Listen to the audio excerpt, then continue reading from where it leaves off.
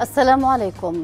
طفل في السادسة عشر من عمره كان في طريقه لامتحانات الشهادة الثانوية في مدينة تعز في يوليو 2017 اختطفه الحوثيون من الطريق وأخفوه في سجن مدينة الصالح لمدة خمسة أشهر قبل أن يعرف أهله بمكانه.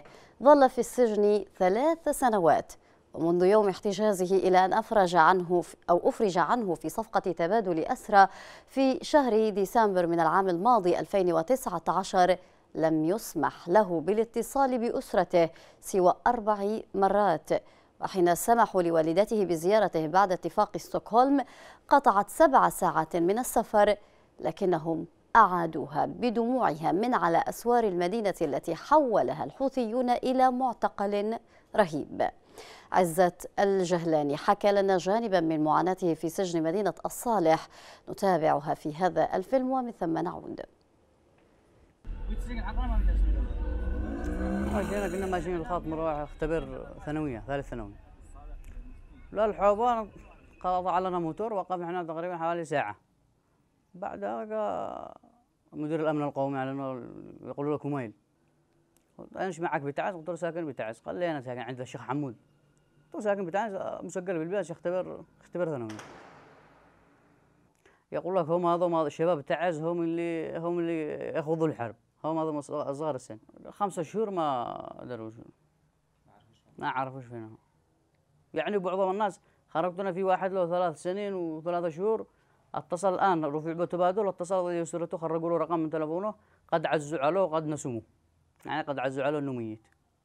واحد من حق المخاء مديريه المخاء في ناس يجلسوا من سنة من سنة ونص ما يتصلوش يحرم على الاتصال. معش رقم ما يرضيش يخرج لهم التليفون حق الرقم. اعتقلوا ممكن يعني يضغطوا علينا نسلم أنفسنا ولا يعني اول والد يروح من الخارج وسلم نفسه مطلوب عندهم. ما أعرف ليش بس يعني هم سياستهم كذا. رغم إنه مش مشارك وعلى إنهم جماعة دينية والجماعة الدينية يعني كل نفس بما كسبت رهينة وما قاتلهمش ولا له دخل. يعني طالب عمره 16 سنة قاصر. حتى حين ما يقبلوش القصر يعني ما مستحيل إنه واحد قاصر يقاتل مع الشرعيه ولا مع التحقيق حوالي جلس ثلاثة شهور التحقيق يعني متواصل معي ويشتو هنا أخبار وش يعترف في حاجات ما ليش ولا شيء وليش اخوتك وليش أبوك كذا ليش؟ تحقيق يعني وتعذيب ولعق آخر الليل أحيانا الساعة ثنتين الساعة ثلاث وحين من المغرب مستمر طول الصباح تحقيق وكهرباء وضغط نفسي وتعذيب. حتى تمارين يعني تسوي تمارين يغلق واقف على الرجل ولا مركز على على راسك بالأرض. يعني تتكلم انت وهو وبعدين إذا ضبح منك قام ضربك ولا كهرباء. في يربط وائر بالرجل والباقي يقزعه بجسمك ولا يشيل يدك لفوق الجدار يكهربك. ولا معاهم حق قصرهم حق مكافحة الشغاب العصا. يخبطك يطلعك ويدججك بماء ويطرحك من الريح من البرد هذا لآخر الليل. بس عقوبة واش ولا ضغطات متر في متر. تجلس أيام. من اللي يجلسوا خمس أيام من اللي يجلسوا أسبوع من اللي يجلسوا ثلاث أيام بلا اكل عقوبة شو يعترف ولا يقبلوا ناس. يعني شي ظلم الناس عشان يقبلوا بهم اسرى اسرى بس. اختطفوه على تهمات إخوانه عمامه وأبوه مناصرين للشرعية وللرئيس. حاولوا يضغطوا علينا يعني اخفوه فترة طويلة يعني ما عرفنا إلا يعني حاولوا خلال فترة كاملة هذه اتصل أربع مرات أو خمس مرات. أخوتي قالوا مع المقاومة. وبي مع مع مشاكل مع المؤتمرين ليش خرج مع الثورة؟ ليش نظم للثورة؟ وكان مؤتمري هذا تعدوا له. ويشتموا حتى هم يشتموا. ليش أبوكم مؤيدكم ما شيكم ما يروح بكم؟ ليش أيدكم كذا؟ ليش؟ اتصلتونا اتصال بعد خمسة شهور خمسة أيام وثاني اتصال بعد عشرة شهور. يعني أجي اتصل يقول لي أنت محروم عن الاتصال. ما أدري ليش. ما جبت له شو اللي يشتي بالتحقيق يشتي ناس يشتي أثبت يشتي يتكلم على ناس إنهم كذا كذا. ما يعني ناس من اهله حتى من أهلي يسألنا على أهلي هذاك ليش هذاك مع المقاومة إيش ارتباطه مع المقاومة؟ تقول له مش مع مش مع المقاومة يقول لك ليه ضروري يكون مع المقاومة.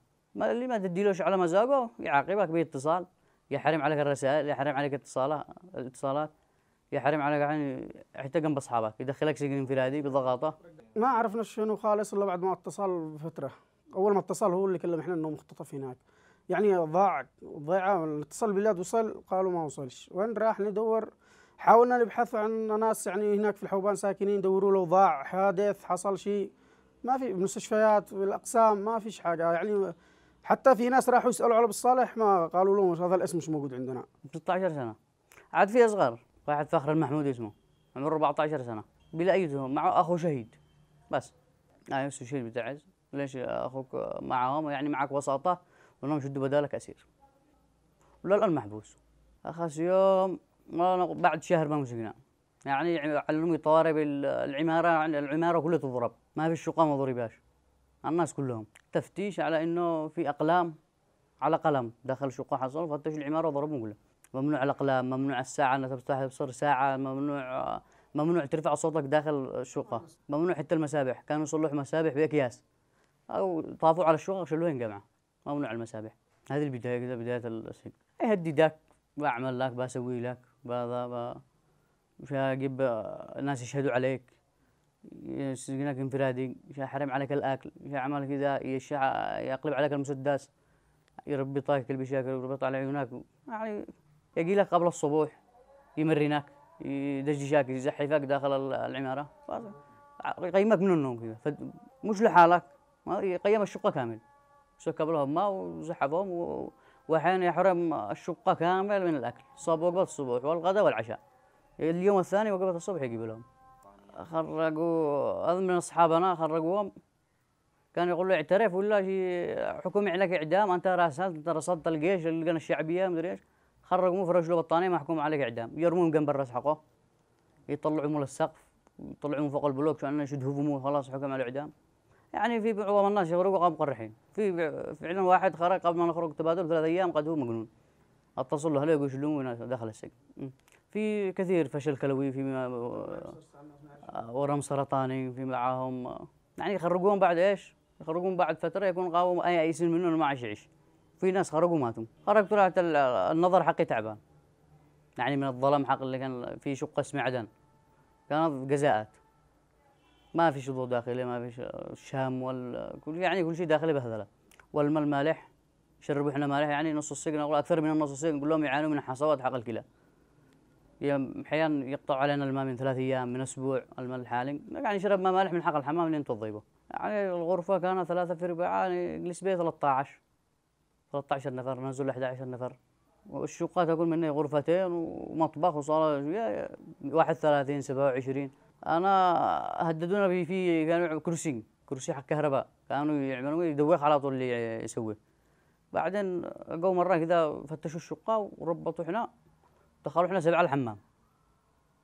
بعدين على واحد يكلبشوا ويطلعوا مطالع عشان لو انش كهربوا يهددوا هذا. بس ما سووش ما كربش هناك كربوا إحنا المرة الأولى. المساكين يعانوا اللي مرض اللي يقرح بالفشل الكلوي اللي يخرج عمى واللي يخرج في ورم سرطاني الآن يناشدوا بالفيسبوك على واحد مراد الوافي خرج في بو مرض ورم سرطاني بالرئتين. خرجوا اثنين من السجن في بهم فيروس الكبد. واحد توفى واحد عدو موجود. وفي اثنين ورم سرطاني واحد من حق القبيطة واحد من حق الحبشين. وتقريبا حوالي أربعة فشل كلوي. واحد في بو خرج سل بالرئتين. أتوفي عمل أسبوع أتوفي. لأنهم تمرض بداية المرض ما يسعفوكش لما الحالة تسوء يعني مع يائسين منك عندك الشعيش خرجوك في واحد تقريبا يقول من حق البرح. من كثر التعذيب يسمع من يسمعوه ضقتوه والصياح حقه يبصرون ونزلون بطانية. يعلم الله نودهم وانتهي. كهرباء وتعذيب وعلاق واللي يمرضوا يضرب يجلس مريض من أسبوع. واللي جنان في واحد قد هو مهسر وفي اثنين يستخدموا داخل السجن كانوا مهدي نفسي تعالقوا تعالقوا على حسابها لهم لو مرضت ولا شيء تجلس لك فترة ويقول لك ارجع اتصل يدي لها هلاك يدوا لك علاج. ما يعدي لك حتى علاج.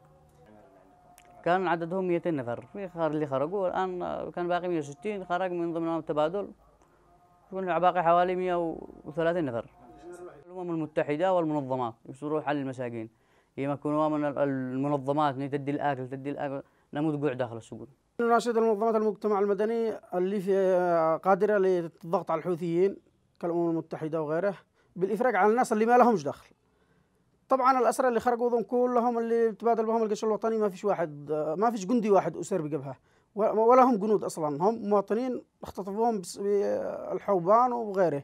مناطق سيطرة الميليشيات. يعني الأكل قليل كل شيء بهذله بهذله في ناس في ناس معورين إعاقة يعني إعاقة قد تكون أبدية.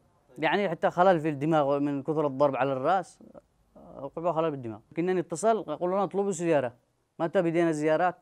ببدايه اتفاق مفاوضة السويد. بدو إيش لأن الناس قد هم بيخرجوا بيحسنوا المعاملة. عملوا فترة بدي لما التقى الأربعين اليوم قالوا مدة 40 يوم وزادوا خمس أيام. اتصلنا طلبنا زيارة عملوا الباب رجعوا امي وكرايمي من البوابة. ليش أنتم اتصلتوا؟ طيب سمحتوا له اتصال وفي لجنة على إنه لجنة من الأمم المتحدة ولجنة من ندري من إيش على المنظمات يسمحوا بزيارة للاسرى يقول لك لا الأسير هذا ممنوع له رغم إنه لو أسير حرب ولا أسير حاجة الطفل رايح يختبر. سبع ساعات قطعوا وكانوا مسافرين يعني كان يكونوا أول لقاء وآخر لقاء داخل السجن.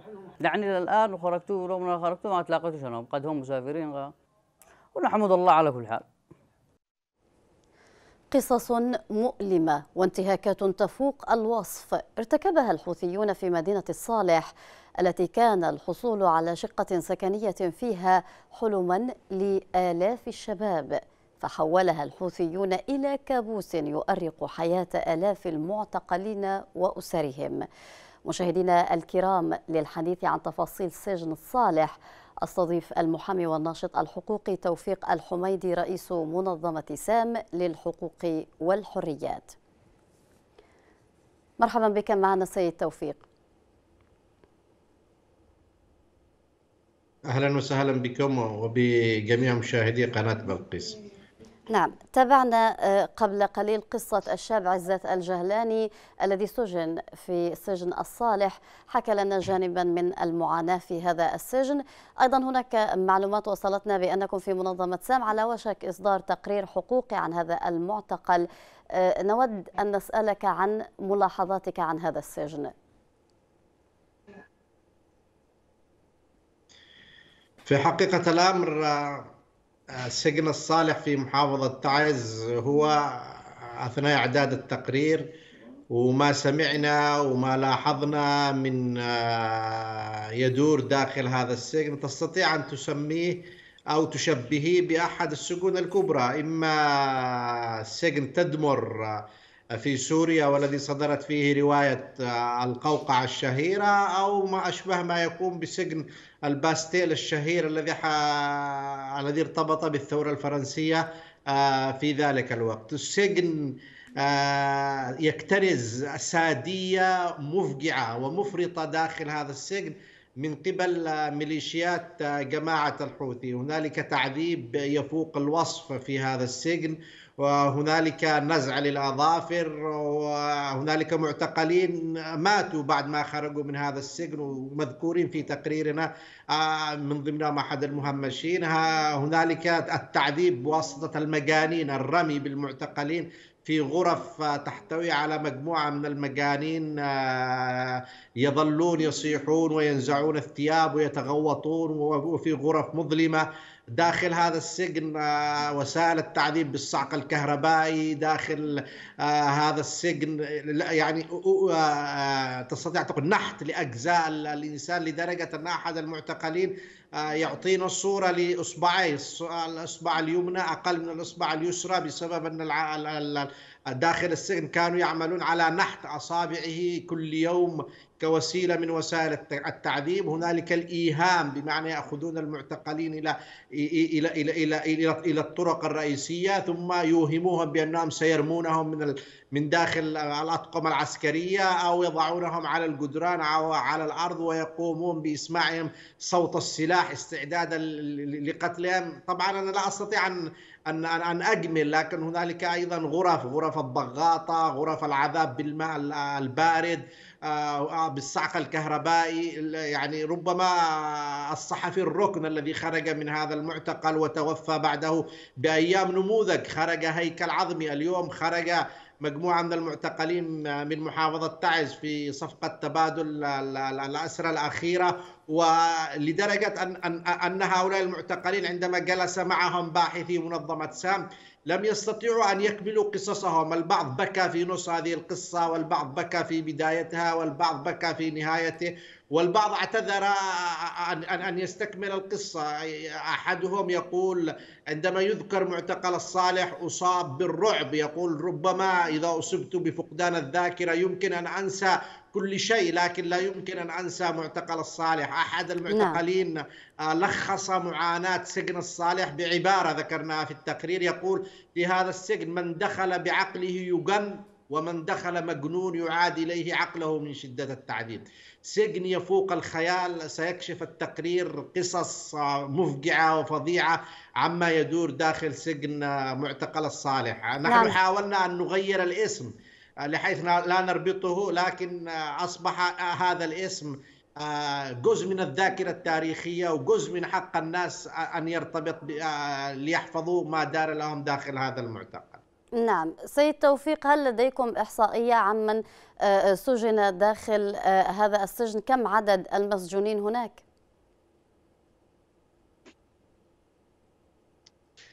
هي لا توجد إحصائية دقيقة لأن هذا السجن أولا لا ليس سجنا قانونيا هو أشبه ما يكون بسجن سري أو سجن غير قانوني يخضع لجماعة الحوثي.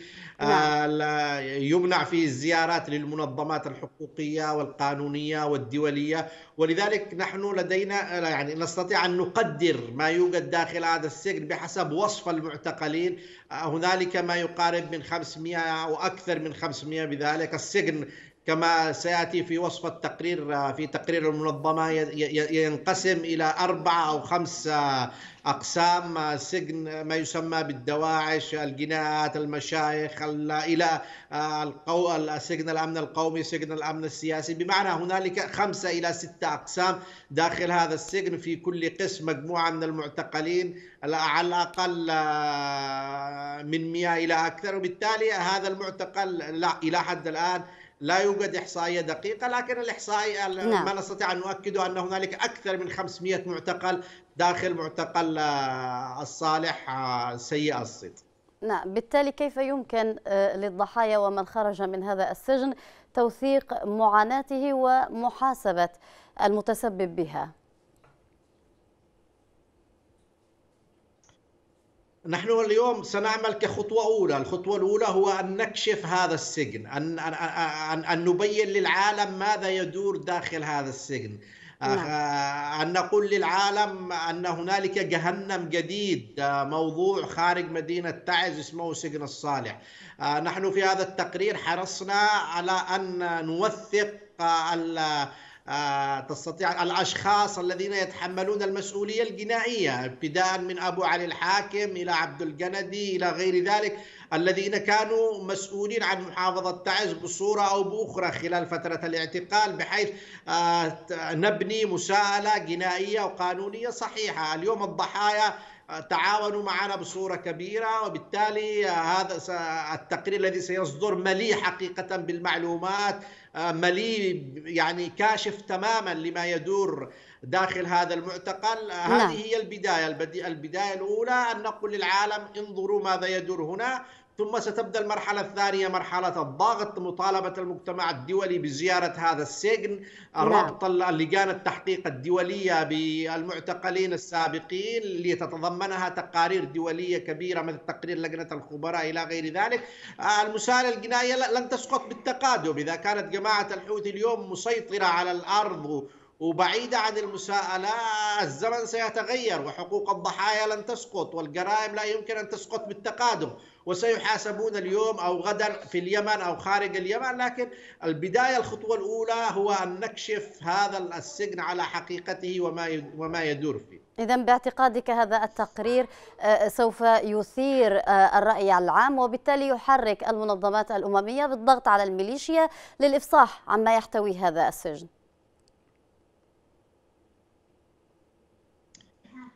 بالفعل هذا ما نؤمله. نحن الآن آه، نعمل بجد بجانب التقرير أن يكون هذا التقرير آه، تقريرا مكتوبا إلى إضافة إلى مجموعة من الفيديوهات آه، أو الفلاشات القصيرة. نعم. سيترجم باللغة الإنجليزية إضافة إلى فيديوهات باللغة الإنجليزية سنحاول مستقبلا أن نأخذ قصص هذا السجن ونجعل كل قصة في فيديو باللغة العربية واللغة الإنجليزية بحسب إمكانيات المنظمة ونحن نتمنى أن يكون هنالك تفاعل عريض من قبل وسائل الإعلام من قبل الميديا من قبل مواقع التواصل الاجتماعي لأنها هي بالنهاية هي التي تحمل هذه المعاناة وتنقلها إلى العالم خاصة المواقع التي تكتب باللغة الإنجليزية وتنقل ما يحدث داخل اليمن لدينا تواصل مع بعض النشطاء مع بعض المنظمات مع فرق التحقيق. هذا الأمر سيصل إلى هذا الأمر ونحن نتمنى أن تظل قضية سجن الصالح قضية حية دائمة ومستمرة وسنظل نحركها بصورة أو بأخرى بحيث تبقى حية أمام هذا العالم كما فعلنا في قضايا السجون السرية في جنوب اليمن التي كانت تحت سيطرة دولة الإمارات. بدأنا بتقرير معين ثم أصبحت قضية رأي عام دولية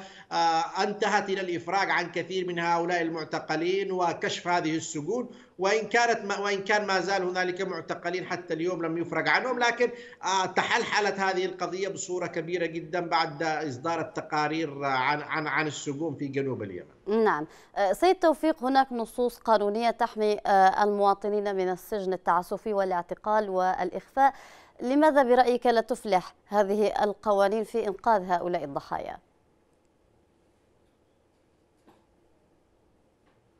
لا نحن يجب أن يعني نقول إننا اولا في ظرف في ظرف حرب استثنائية والأطراف اليوم غير يعني لا تحترم القانون الدولي ولا القانون المحلي اليوم للأسف الشديد الجماعات التي نتعامل معها في الشمال أو في الجنوب أغلبها ميليشيات للأسف الشديد. حتى الأطراف اليوم الذين يديرون المشهد لدى الحكومة الشرعية هم قليلي الخبرة أو أيضا غير مكترثين بالقانون الدولي بمعنى أصح. وبالتالي هنالك صعوبة اليوم. أنت أمام جماعة أتت من الشمال أشبه تمارس سلوك العصابة آه، لا لم تدخل إلى المدارس آه، لم تتلقى أي تدريب. قانوني أو تدريب سياسي.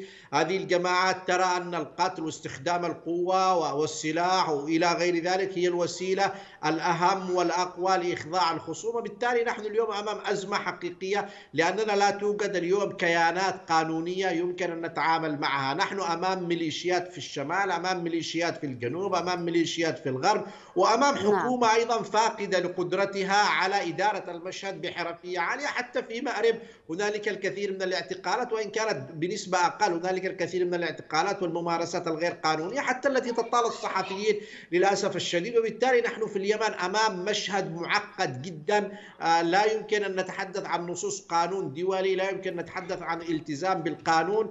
نحن اليوم أمام كفاح حقيقي لاستعادة الدولة بالدرجة الأساسية لأن الدولة هي الضامنة الأساسية لحقوق الناس في الشمال أو في الجنوب في الشرق أو في الغرب أو في كل نعم. المناطق الجمهورية اليمنية. سيد توفيق تحدثت عن أولى آه، آه، الخطوات لتوثيق هذه الانتهاكات وبالتالي معاقبة الجناة. هي التوثيق كما ذكرت في تقريرك. بالتالي ما هي الآليات التي تتبع هذا التقرير والتوثيق؟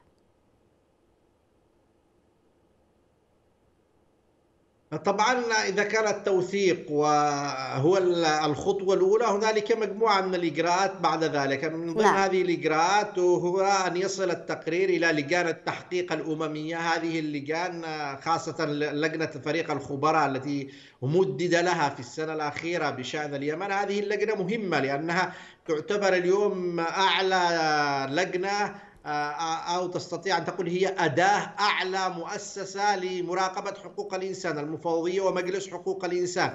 هذا التقرير أو هذه اللجنة بلا شك لديها قوائم سوداء كل عام تقوم بتحديثها بمرتكبي آه، حقوق أو جرائم حقوق الإنسان في اليمن. سيصل إليها هذا التقرير. ستتصل بالضحايا ستسمع من الأطراف ستسمع أيضا المنتهكين إلى غير ذلك. الخطوة الثانية تقديم شكاوى بالتعذيب من قبل الذين سيكونوا في التقرير إلى إلى المقررين الخواص في الأمم المتحدة لكي يطلعوا على هذه القضايا. تأتي هنالك بعد ذلك تأتي مرحلة التقاضي. هذه مرحلة ثانية وقد تكون أكثر تعقيدا للظروف سياسية وامكانات فنية معينة إلى غير ذلك. لكن آه، ستأتي سواء اليوم أو غدا إلى غير ذلك لكن هذه الخطوات ستمشي آه، في هذا الاتجاه آه، نعم. ستتحول قضايا هذه القضايا إلى قضايا دولية أو تتضمنها التقارير الأممية في المرحلة المقبلة.